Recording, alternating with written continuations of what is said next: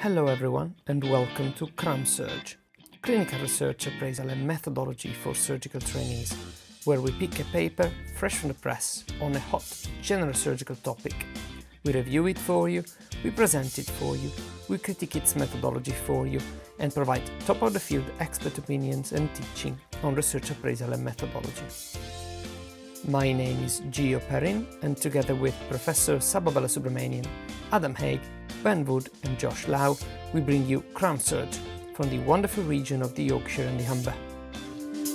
Right, so we'll talk about measures of risk, the final uh, part. Uh, so, for those of you who have not come across the earlier versions, um, they're all there on the website and on YouTube. It might be worth your while um, looking through parts one to three, um, because um, we're going to skip over the basic concepts and go on straight to um, time to event data. Right. Um, a couple of slides on what we learned before in parts one to three. We talked about um, odds ratios, relative risk, and attributable risk as uh, commonly used measures of risk. We talked then about relative risk reductions, absolute risk reduction, and number needed to treat. Um, and uh, we then moved on to time to event data.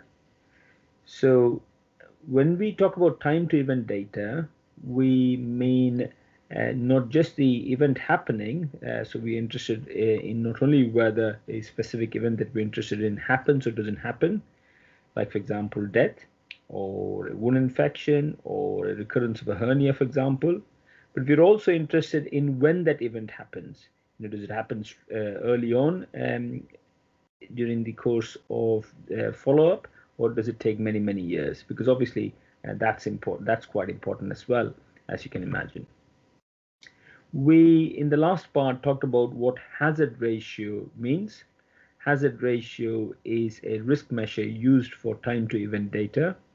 It's very, very similar uh, conceptually to relative risk, and it compares time to event data in two groups. So we're now going to move on to talking a little bit more about time to event data.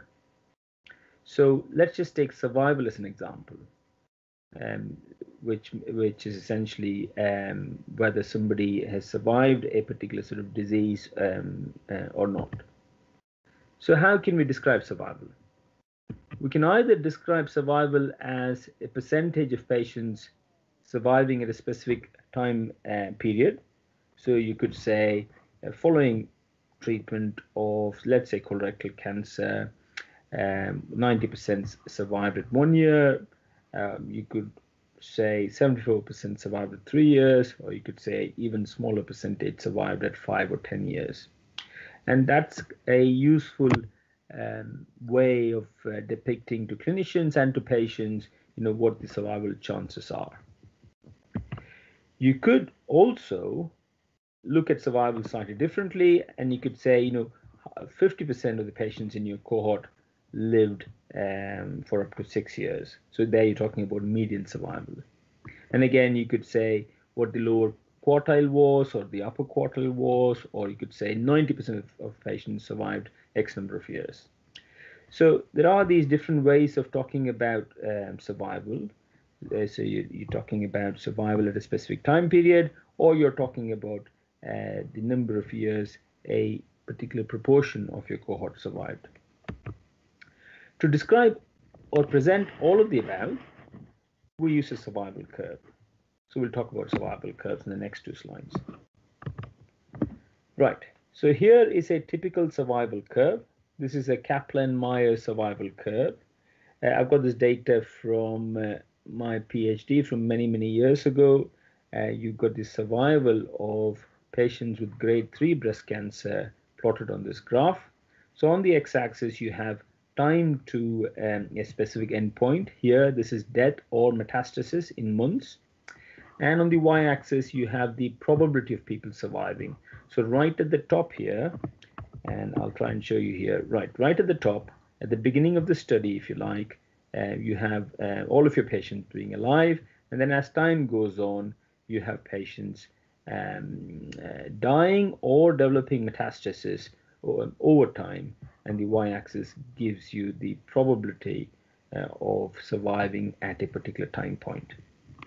Okay, so there are lots of YouTube tutorials on um, how to create a survival curve and also explanations on uh, how you interpret survival curves in a lot more detail than we have time for. So I'll try and um, give you a, a, bird's eye view of uh, what we ought to sort of um, um learn about survival curves. So um, these curves show proportion surviving um, without the event happening over time, just like I explained.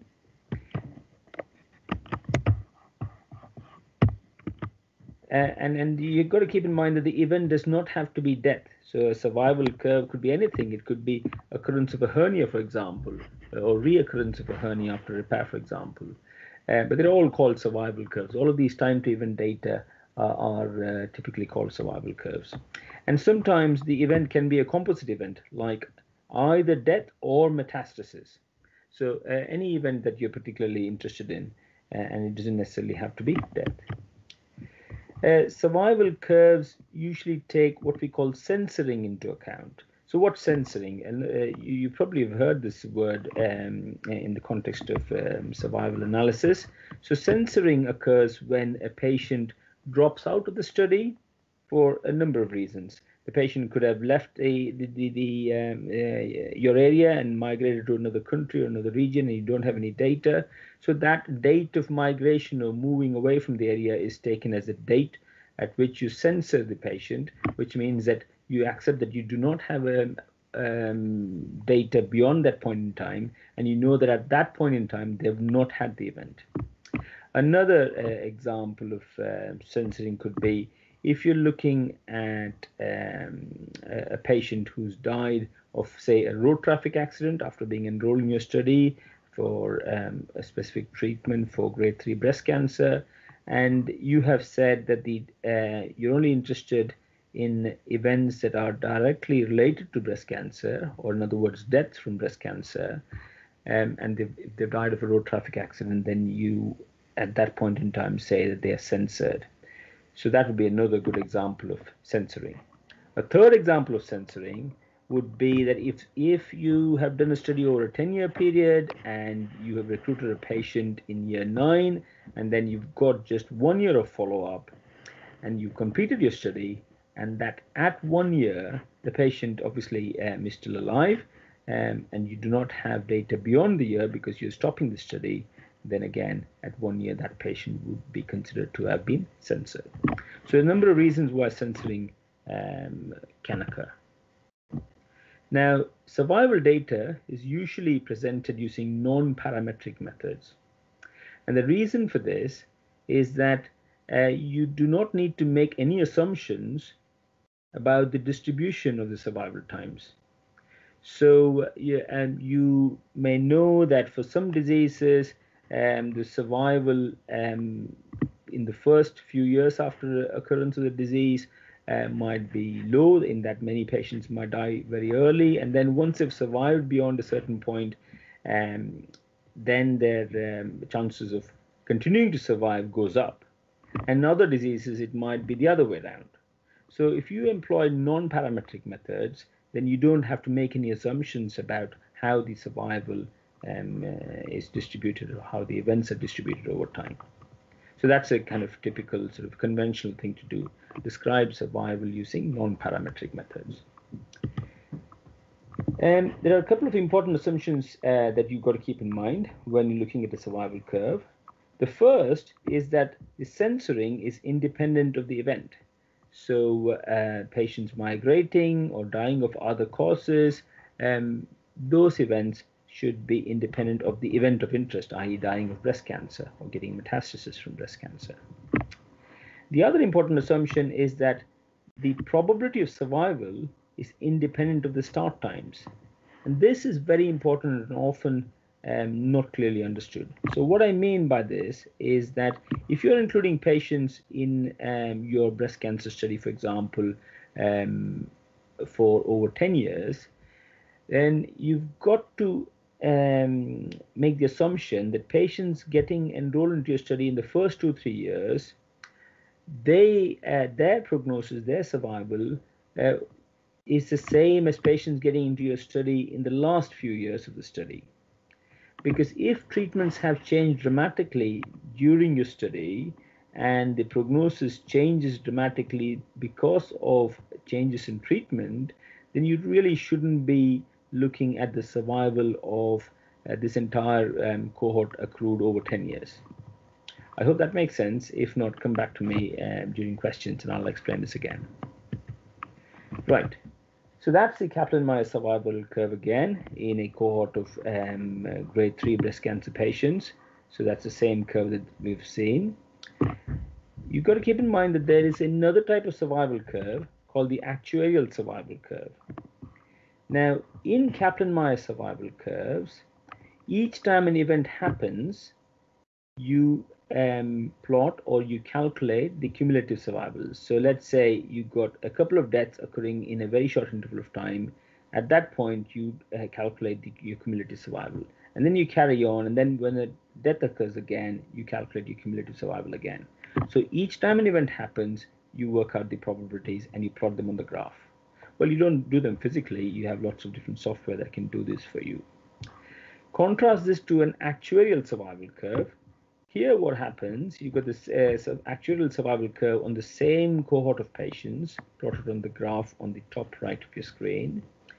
Here the cumulative survival or the probability of you surviving is plotted or is calculated at specific time intervals. In this particular graph, we've done this every year. So every year you calculate what the cumulative survival is, and then you go on for another year and then calculate what the cumulative survival uh, is. So the main difference between what we call actuarial survival curves and the Kaplan-Meier survival curves is this. In the actuarial survival curve, you plot the probability at fixed and regular time intervals.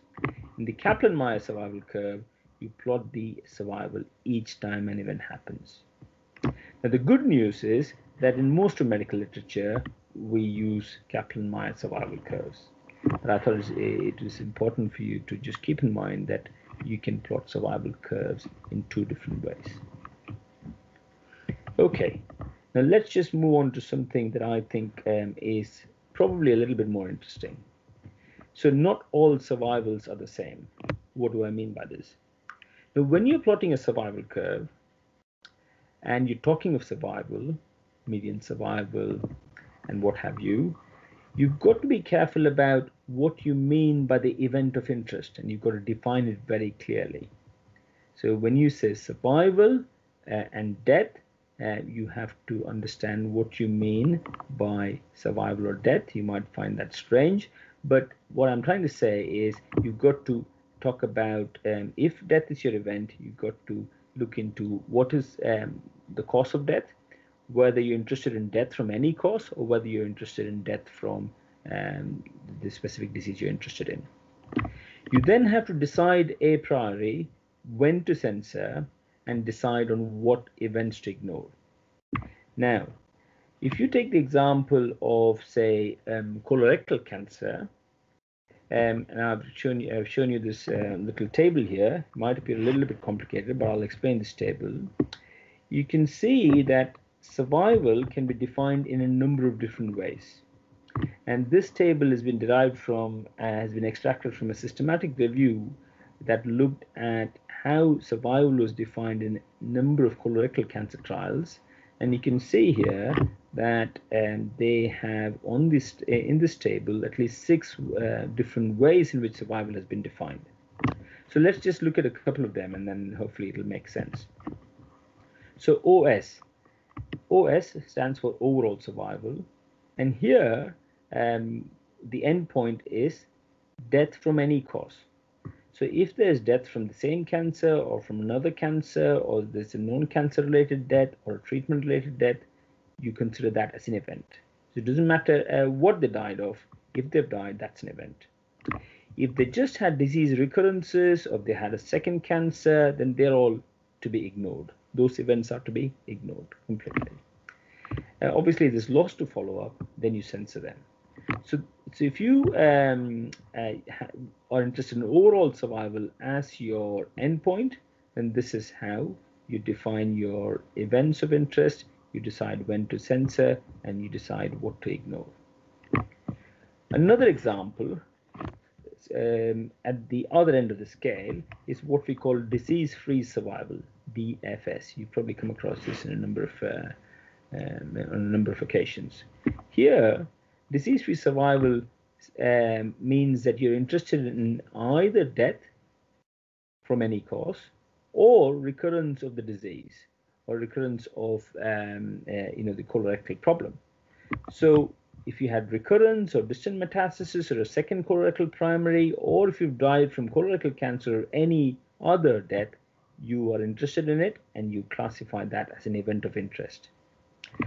And if you lost a follow-up, then you're censored and you're not really ignoring um, any uh, death from any cause um, or, or um, whatever recurrence um, uh, related to the cancer um, happens. You know, you're not going to ignore anything. So, so you can see how disease-free survival and overall survival differ. And then if you're interested, if you have time, you can come back and look at uh, what recurrence-free survival is, time to recurrence, time to treatment failure, and cancer-specific cancer-specific survival are.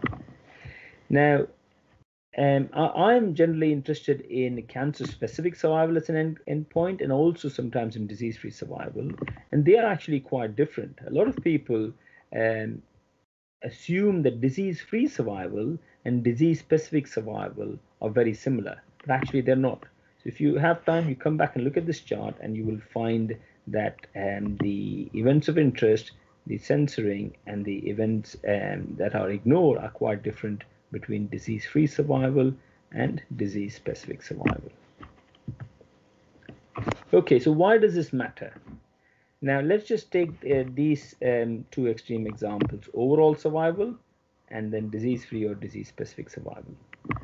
Now, clearly overall survival is going to be influenced not just by the treatment of the cancer, but also by other factors such as toxicity, and chemotherapy toxicity, for example, associated morbidity, and age.